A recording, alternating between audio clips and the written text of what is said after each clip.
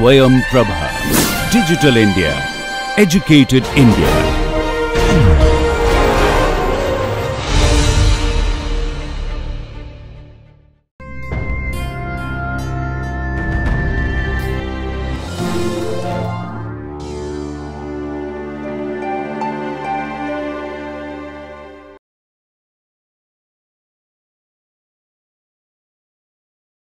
So hello and welcome to this NPTEL course entitled 20th Century Fiction where we've started looking at James Joyce's short story uh, Araby which is part of the collection that we are covering, Dubliners.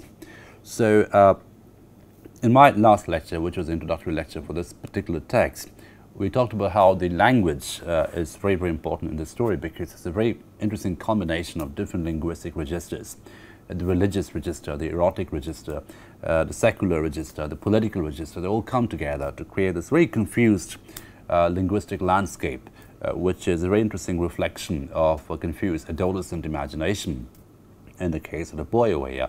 I mean, superficially, this is a love story, but the, the way it is presented to us is very interesting because it takes us uh, sort of deep into the mind of the adolescent uh, young male imagination, falling in love with this woman and we find there are desperate strategies or desperate uh, attempts uh, to appropriate a very knightly, chivalrous register of uh, you know romance. So he talks about how uh, he imagines himself bearing the chalice uh, through a throng of foes, which is the very very medieval image of the knight bearing chalice among infidels. So the love object, the object of love, becomes uh, almost like a religious icon for him, and his pursuit of love becomes like a religious quest for him. So again, we have this interesting combination of the religious and the erotic put together in a very confused register. Now, if you remember the section where we ended uh, this lecture last time was where this almost this momentous occasion where the girl speaks to the boy for the first time and she asks him uh, whether or not she, he's going to Araby and that's the first time the word Araby is mentioned, uh, the fair, the bazaar, which is the setting of the story. And as I have, may have mentioned already, uh, is an interesting example over here because it's a metaphor of the, for the exotic, because Araby uh, obviously comes from Arabia, but the bazaar, which was set in Dublin at that point in time, uh, used to sort of display the different markets from the Orient, uh, right? It's this very exotic, essentialized idea of the Orient in a Western imagination. So that bazaar becomes uh, the exotic space, the fairy tale space, the utopian space, so to say, uh, for the very decadent Western citizen. So that bazaar would be like a quest to go and get something from there uh, and gift it to the beloved. So it so retains the knightly structure, the chivalrous structure of romance. So as you can see, um, there is this very interesting uh, mimicry of the mythic method. Uh, so the boy is trying to mimic uh, the kind of narratives he has consumed about love, about romance, etc uh, in he wants to go uh, to this fairy tale place and get something for his beloved uh, and carry it and protect it among a throng of foes in a way that a knight would um, in medieval times. So he's comparing, he's equating himself with a knight and is equating his love uh, with a knightly romantic quest uh, to get something like a great legend, a holy grail uh, for his beloved. So what we see over here is an elevation with a very mundane, excuse me, very mundane uh, level to something, uh, a very, very deep anxiety to appropriate a, you know, a super level, uh, almost cosmic level, and almost uh, you know, hyper romantic level of narrative in the sense that he wants to appropriate those markers, you know, chalice, knightly romance, lady love, etc., and everyone else around uh, like enemies of romance, dragons and infidels, etc. So just to very quickly uh, recap the section where we ended last time, uh, this little paragraph which should be on the screen now, where uh, it is told to us, at last she spoke to me. So there's a degree of finality and momentousness about this um, little sentence. At last she spoke to me. It's like an epoch. Uh, it's like a paradigm shift in this romantic narrative. When she addressed the first words to me, I was so confused that I did not know what to answer. She asked me, was I going to Araby? I forgot whether I answered yes or no it would be a splendid bazaar. She said she'd love to go. So again, the whole idea of Araby and the equation of Araby with desire is uh, being set up over here. She would love to go to Araby. So the obvious implication is she possibly can't go, practically speaking. Right? So it would be a splendid bazaar. She said she would love to go, and this is told to him as well. And why can't you? I ask. While she spoke, she turned a silver bracelet round and round her wrist. So again, the, uh, look at the biblical metaphors over here, the markers, a silver bracelet. Uh, silver is the, uh, the, the marker uh, which was sort of biblically used as a marker of betrayal. That was what was paid uh, for betraying Christ. So silver over here is interesting. That metaphor of betrayal, that metaphor of fall, is presented to us in a very surreptitious way. So we've seen how these biblical markers are littered in this landscape. Uh, in Dublin. I mean, we have this central apple tree with a few straggling bushes around it. Uh, we have this, um, very serpentine alley in which the, um, the North Richmond Street is situated.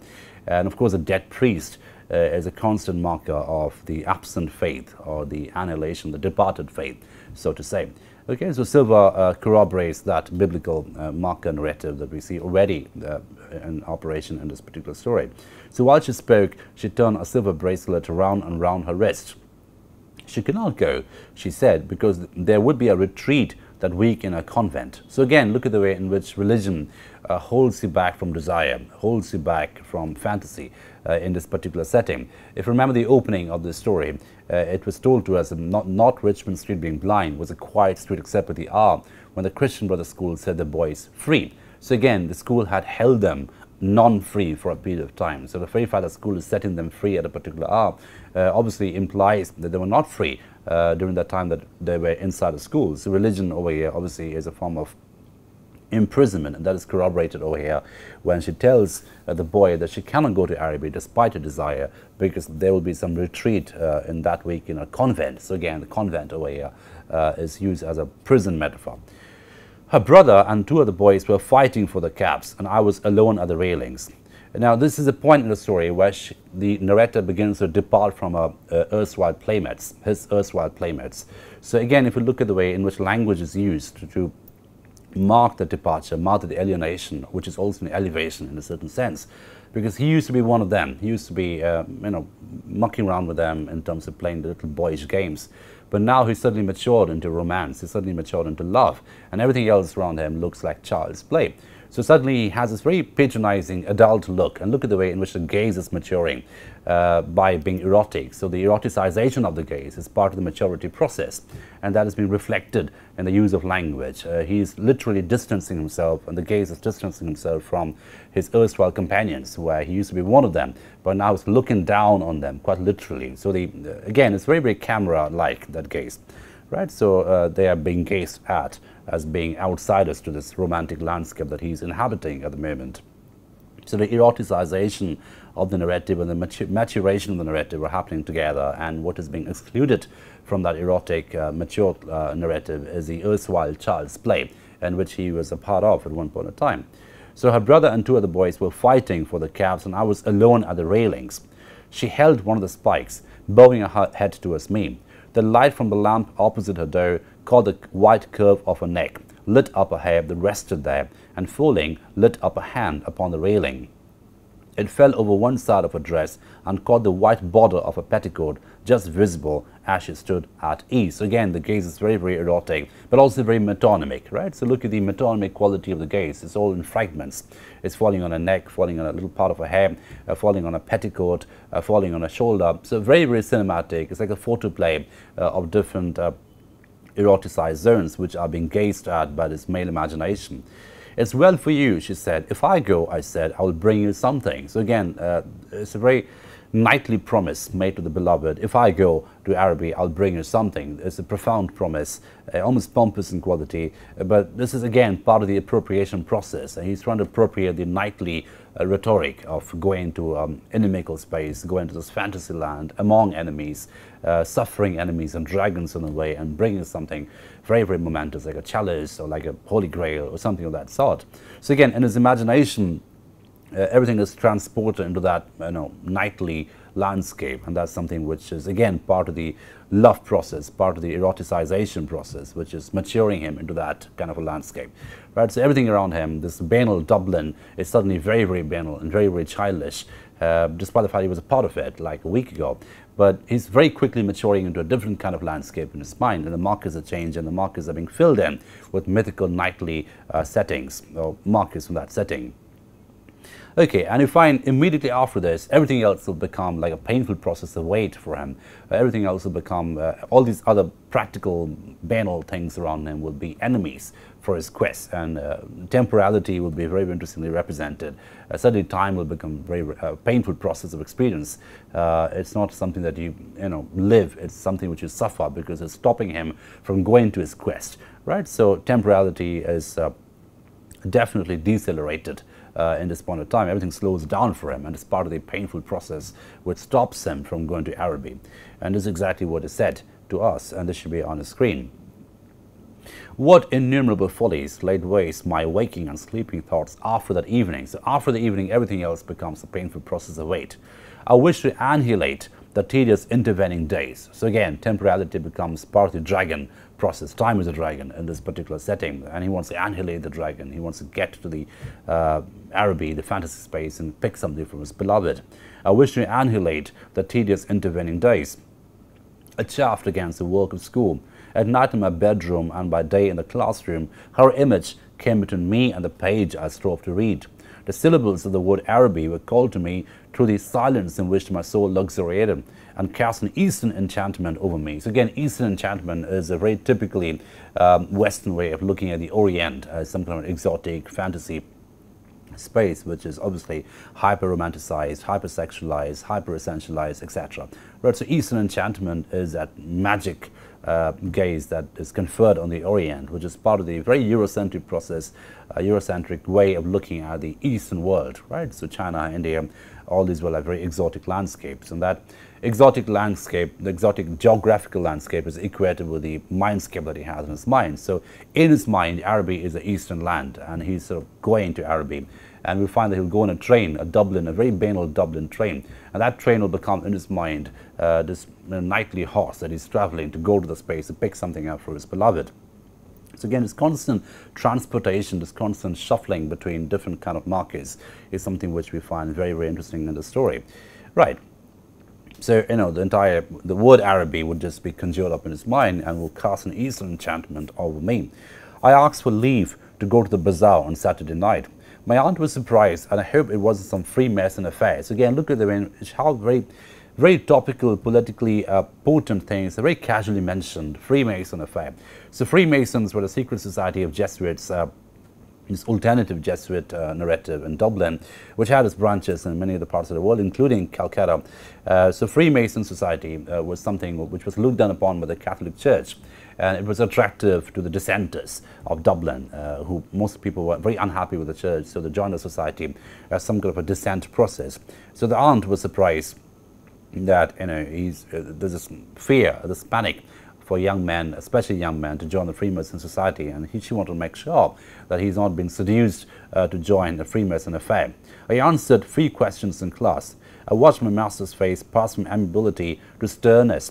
He hoped that I wasn't beginning to idle, right? So again, uh, the master is obviously a Jesuit priest, um, and uh, he's fearing that the boy is beginning to idle, which is uh, like a sin according to this, uh, this biblical narrative that he's you know, very, very firmly planted in. I could not call my wandering thoughts together.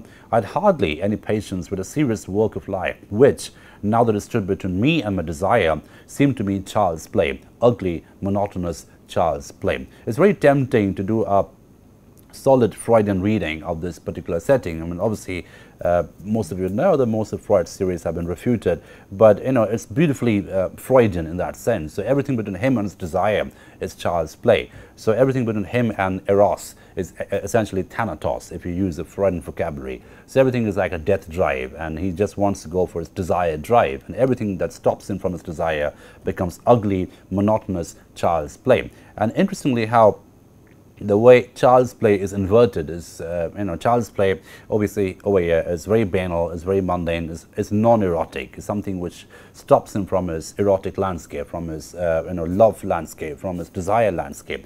And, you know, everything that is stopping him from desire is becoming an enemy in his imagination, is making him monotonous, is making him melancholy, is uh, impeding his ego uh, which wants to feed off the desire, right? So it's very, very classically Freudian uh, in that particular, this particular line. I had hardly any patience with a serious work of life. Now the between me and my desire seemed to be child's play, ugly, monotonous child's play. So every form of banality around him, every form of practicality around him becomes a monotonous child's play. So notice the way in which a very condescending uh, uh, gaze is being conferred on his activities. It's like it's a child's play. I don't take it seriously.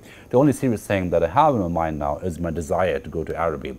Uh, and also look at the way in which the markers of desire keep shifting in the story. Uh, first it was Mangan's Sister, and now it's shifted to Araby. So that's a desire place, the desire space he wants to go and consume and then come back. Right? So the markers of desire, the signifiers of desire keep shifting very, very quickly. And of course, that is reflective of a very confused adolescent uh, sexualized imagination that he's you know, suffering and experiencing uh, as an adolescent male. Okay. On Saturday morning, I reminded my uncle that I wished to go to the bazaar in the evening. He was fussing at the whole stand, looking for the hat brush, and answered me curtly, Yes, boy, I know. Again, look at the way in which the absent parents are such a potent presence in the story. Uh, he's brought up by his uncle and aunt. I mean, we sort of guess that the relationship he has with his uncle and aunt is not quite uh, nice, not quite pleasant. Uh, the only adults mentioned are the uncle and the aunt and the stern schoolmaster. So it is obviously a loveless landscape in which this boy is situated. So his desire for love is really uh, essentially, again, very Freudian way, uh, he's in love with the feeling of being in love because that is quite literally absent in the landscape that he is growing up in. So he's got a stern aunt, a stern uncle, and a stern schoolmaster. Uh, these are the only adults available to him in his growing up process. So for the first time in his life, um, presumably, he's falling in love, he's experiencing love. And that, of course, is a very, very erotic experience, and he doesn't quite know how to acknowledge and experience it. And hence, it's very confused vocabulary in which he's using to describe the process, describe the experience. Okay, so uh, the curtness of the uncle's response is reflective of the lovelessness in which he's situated. Uh, he was fussing at the whole stand, looking for a hat brush, and answered me curtly, Yes, boy, I know. So again, it's not son. Yes, boy, I know. So language is extremely important in choice. Each word tells you something. That's why he's such a difficult writer to read and unpack. Right? So yes, boy, I know. Not yes, son, I know. Not yes, darling, I know. Okay, so he's already addressed as a young male, uh, presumably, you know, is expected to be responsible and a proper Christian in a Dublin setting. As he was in the hall, I could not get, I could not go to the front parlor and lie at the windows. Again, look at the way in which the adult is stopping him from his movement of desire. As he was in the hall, I could not go to the front parlor and lie at the window. See, all the adults in the story, as you can see, are all enemies of romance, are all enemies of fantasy, all enemies of uh, imagination, uh, so to say. So we have this Peter Pan world where all the children play and grow up together, and we have these adult enemies around it who are essentially uh, inimical to any idea, any experience of romance. So even spatially speaking, you see how the same house is broken down into romantic zones and non-romantic zones, but in fantasy zones and non-fantasy zones. So the presence of the adult, the non-parent adult, the non-loving adult is obviously an enemy to romance. So as he was in the hall, I could not go to the front parlor. So he's stopping me, spatially speaking, to going from going to the front parlor and experience my romance. I left the house in bad humor and walked slowly towards the school. The air was pitilessly raw, and already my heart misgave me. So again, the pitilessness of the air is, is, is, important for us. The rawness of the air is important for us, and already his heart is misgiving him. So he's already beginning uh, to get suspicions about this entire idea of romance, and he's already beginning to feel this might be a failed quest because uh, remember he's a knight in his own imagination. He's in a knight a knightly situation knightly mode uh, in his own imagination and he wants to make it as momentous and profound as a knightly narrative. And obviously his heart is misgiving him and is desperately trying to convert Dublin into a knightly landscape into a chivalrous medieval um, landscape of romance which is very hard to do given the decadence of Dublin uh, in this particular historical point of time. Okay. Uh, because you know if you remember the soundscape that you described before, it's about the shrill litanies of short boys and also numerous ballads about the troubles of a native land. This is a Dublin which is politically very, very volatile. This is a Dublin which is obviously um, under the English Empire, uh, but you know under great uh, oppression from the British. And you find towards the end of the story, uh, he will be further, his romance will be further killed by British accents right? So you'll hear two people speaking in English accents, and that will seal the annihilation of his love. So the entire idea of love and romance uh, and this very imperial presence which will come into the accent will uh, definitely you know, squash any idea of romance at the end of the story, which we'll see in due course.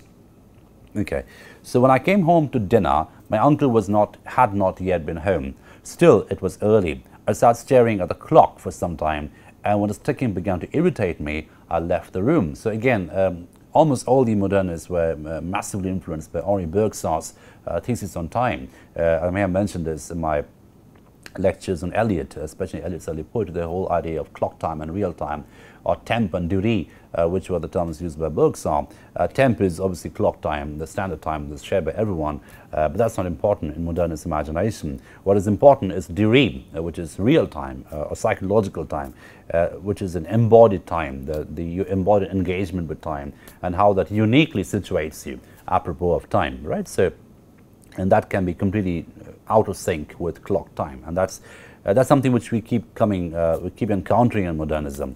Uh, one of my favorite examples is Yeats's poem called Vacillations. Uh, you can look it up. Uh, it's a very autobiographical poem where this is about his 50th birthday. It's the poet W.B. Yeats sitting in London, and he's sitting in a cafe watching the metropolis go by. And then there's this lovely line where he says, for 20 minutes more or less, uh, such was my happiness that I was blessed and could bless.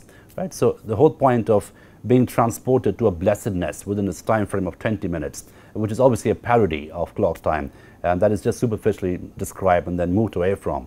But the whole point is moving to a time in which he was so blessed that he could bless, right? So that's like a transportation in time. And that was an obsession that most modernists had, starting with Proust, of course. Uh, the entire modernism's obsession with time starts with Proust, uh, which is, you know, and is literally titled this book, uh, In Search of Lost Time. So it's all about temporality to a great extent. So Joyce too, uh, if you read Ulysses, when we read Ulysses in this course, you'll find, again, we have the same obsession with time. It's one clock, uh, it's one calendar day in terms of clock time, but that is completely immaterial. And in one calendar day, we have this numerous passages of time which come and go. And sometimes you think that it's one calendar day, which is like a very favorite architectonic of modernists. It's very deliberately designed uh, just to hammer home the parody of time that they do. It's like clock time or calendar time is completely immaterial and hence they situate this very superficial one day uh, deliberately just to sort of prove to us that how that one day is completely immaterial because in, in one day we can have so many transportations of time, so many passages of time, so many experiences of time, which is the most important thing. It's over here to uh, time is an enemy, uh, as he very clearly mentioned. Temporality is a dragon uh, to him in his knightly quest. So he's sitting staring at the clock, which is obviously the metaphor of the enemy. And the irritating clock, which is ticking by, uh, is getting on his nerves, quite literally. So I left the room, mounted the staircase, and gained the upper part of the house. Again, look at the verb gain the upper part of the house. It's like a you know triumph metaphor, victory metaphor. He's already in a knightly quest. So pay very, very attention, close attention to Joyce's use of language. I mean, each word means something in Joyce, especially in a short story, which is more economical than a longer narrative, a longer uh, novel. So again, the upper part of the house is like a war he's having, a battle with the adult, the loveless adult, uh, the non-parent adult. So in this battle, is gained the upper part of the house as a spatial victory. The high, cold, empty, gloomy rooms liberated me. Uh, interesting use of adjectives, high, cold, empty, gloomy. And all these rooms come together to liberate him, right? It's like a liberation he gets from those rooms. And I went from room to room singing. So again, it's like a metaphor of victory. So I just like a wow victory song. So I gained the upper part of the house and I'm, I'm enacting this victory song across the dark, cold, gloomy rooms. And this is a really interesting bit. Um, uh, this is a very good example of those of you interested in any research in modernism and cinema should code this in great details and should look at this section in great details. And this is on your screen. From the front window, I saw my companions playing below in the street. I mean, this is a classic example of a reversal of gaze. So look at the way in which he's transported to the upper part of the house, which he has gained uh, out of a victory with an adult. And now he can look down upon his companions uh, playing down in the street. From the front window, I saw my companions playing below in the street. Their cries reached me weakened and indistinct. So very symbolically, he's departed from his companions. He is now eroticized uh, into a matured imagination, to a matured manliness. And his companions, who are like children on the street, uh, who have the same clock time, by the way, the same biological time in their bodies, uh, but he's transported because he has experienced a different kind of existential time, a different sense of uh, psychological time, which is very erotic, very imaginative, very fantastic, quite literally. And as a result of which, uh, he has his gaze of condescension, this gaze of superiority. Looking down on the companions from the front window. I saw my companions playing below in the street. It's a typical classic camera gaze uh, that is being used to look down upon inhabitants down below and also look at the way in which the visual gaze and the existential departure are equated together. This is a gold standard in modernist writing. Their cries reach me weakened and indistinct and leaning my forehead against the cool glass. Uh, I looked over the dark house where she lived. Right, again, look at the knightly metaphors over here. I looked over the dark house where she lived, leaning my head on the cool glass. I may have stood there for an hour, seeing nothing but the brown-clad figure cast by my imagination, touched discreetly by the lamplight at the curved neck, at the hand upon the railings, and at the border below the dress. Again, the very metonymic fragmented gaze, the camera gaze, looking at certain fragments of the body, the border below the dress, the curved neck, the hand upon the railings. So this particular passage uh, it's like a gold mine uh, for those of you interested in visual narratives and modernism, right? So take a look at the way in which the existential superiority of the boy is conveyed to us by the way he's looking down upon his companions from a window. And then, of course, uh, he looks over at the dark house. It's a panoramic long shot uh, from the window where she lived. And then, obviously, the one little passage which is again mocking clock time and may have stood there for an hour. It doesn't matter uh, whether it's one hour or four hours. It's what actually matters is psychological time. Where am I psychologically situated in time? So the clock time may have been one hour. It doesn't matter at all. But I saw nothing but the brown-clad figure cast by my imagination. So again, the brown-clad figure, it has a quasi-religious symbolism about it. It's something like a divine figure, but of course it's highly erotic. It's the ultimate erotic figure for him, uh, which is that erotic quality is you know displayed immediately after this, uh, because the figure has been touched discreetly by the lamplight the curved neck. So look at the way in which the lamp lamplight and his organic gaze are equated together. So again, this is a classic case of very complex visual narrative. The lamplight and its eye light are being equated together, are mapped onto each other, and both of them are working together in sync to take a look at the object of desire, right? The lamplight, but at the curved neck, at the hand upon the railing, and at the border below the dress. Very metonymic, very fragmented, classic close-up camera techniques, which are used to describe uh, the object of desire by the male imagination. Okay, so I stop at this point today, and hopefully uh, in the next lecture, or maybe the next couple of lectures, we'll finish the story and then we have another uh, rehearsal of some of the topics which we discussed already about Dubliners, and then we'll move on to the next story in this particular collection. Thank you for your attention.